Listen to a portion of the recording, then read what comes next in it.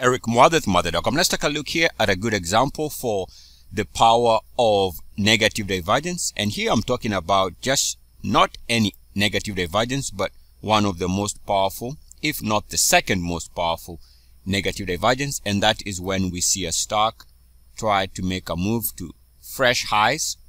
This is a monthly chart, so fresh highs on a monthly closing basis. But take a look at what the RSI did here. In trying to move to new highs, the RSI failed to move above 69.1.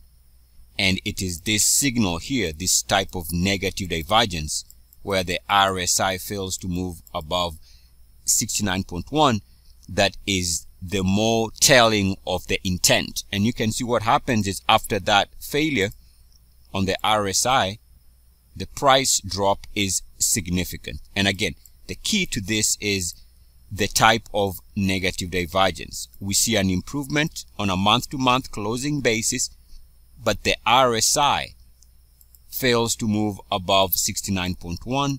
That's the key right there. This failure to move above 69.1 during these highs, that type of negative divergence is the second type of strongest negative divergence. Now, in this particular example, we also see that this is also confirmed by the fact that the MACDs also were making a push to lower highs. So we can see that that high in 2007 led to a massive plunge based on those negative divergences on the MACD and on the RSI. The key here though is the RSI's failure to move above 69.1, which is the second strongest negative divergence. The other, the best and the most powerful negative divergence is when we have a push to new highs, but the RSI fails to move above 61.8. You can search for this on my YouTube, on my YouTube channel for videos discussing this type of negative divergence. This video is pretty much talking about the power of negative divergence when there's failure to hold above 69.1.